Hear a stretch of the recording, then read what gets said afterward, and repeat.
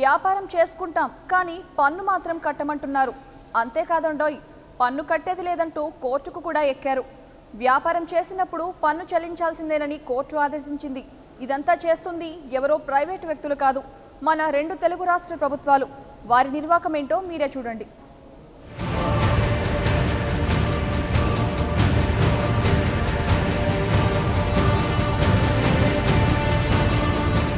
కాసులు కురిపించుకుంటున్నాయి. కానీ పన్నులు మాత్రం కట్టనంటున్న రాష్ట్రాల తీరుపై మరింత సమాచారాన్ని మా ప్రతినిధి ప్రసాద్ అందిస్తారు. ప్రసాద్ చెప్పండి మద్యం పన్ను ఎగ్గొడుతున్న తెలుగు రాష్ట్ర ప్రభుత్వాల తీరును ఎలా అర్థం చేసుకోవచ్చు?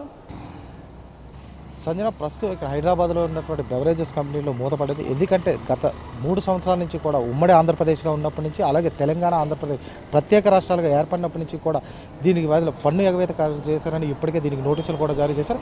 మనం ప్రస్తుతం విజువల్స్లో చూసుకున్నట్లయితే ఇప్పుడే నిన్న సాయంత్రం చీఫ్ మేనేజర్ ఐఎంఎఫ్ డిపార్ట్మెంట్ పేరుతో ఇప్పటికే బంగారాజు పేరు మీద ట్యాక్స్ రివరీ ఆఫీసర్ ఇప్పటికే పద్నాలుగు వందల అరవై ఎనిమిది వేల కోట్ల రూపాయలు ఈ ప్రాపర్టీ ట్యాక్స్ తమకు పే చేయలేదని ఇది తక్షణం అమలవుతుందని ఈ ప్రాపర్టీ ట్యాక్స్ పే చేసే వరకు కూడా ఎవరికి కూడా మందులు సప్లై చేయొద్దని ఇప్పటికే ఇక్కడ అధికారులు ఆదేశాలు జారీ చేయడంతో పాటు తెలంగాణలో ఉన్నటువంటి హైదరాబాద్ హైదరాబాద్కు సంబంధించినటువంటి వైన్ షాప్ ఓనర్స్ అందరూ కూడా ఇక్కడికి వచ్చి తమకు మద్యం కావాలని అడుగుతున్న నేపథ్యంలోనూ కూడా ఇక్కడ ఎటువంటి ఆధారాలు లేకుండా తమకు పైనుంచి అధికారుల నుంచి సమాచారం వచ్చే వరకు కూడా ఎవరికి మందు సరఫరా చేసేది లేదని చెప్పడంతో ఇక్కడ హైదరాబాద్కి సంబంధించినటువంటి తెలంగాణ స్టేట్ బెవరేజెస్ కార్పొరేషన్ లిమిటెడ్కి సంబంధించినటువంటి అన్ని లారీలు కూడా ఇక్కడ చెక్ అయిపోయాయి ఈ మరికొద్ది సేపట్లోనే ఈ మొత్తం హైదరాబాద్లో ఉన్నటువంటి షాప్స్ అన్నింటికి కూడా సంబంధించినటువంటి వ్యాపారులు ఓనర్లు అందరూ కూడా ఇక్కడికి రాబోతున్నారు. ఎందుకంటే తాము ఇప్పటికే చెల్లించాల్సినటువంటి పన్ను మొత్తం ప్రభుత్వానికి చెల్లించామని ప్రభుత్వం దీనికి బెవరేజెస్కి సంబంధించినటువంటి కార్పొరేషన్ లిమిటెడ్కి పే చేయకపోవడం వల్ల ఈ ఘటన చోటు చేసుకుంది అన్నట్టుగా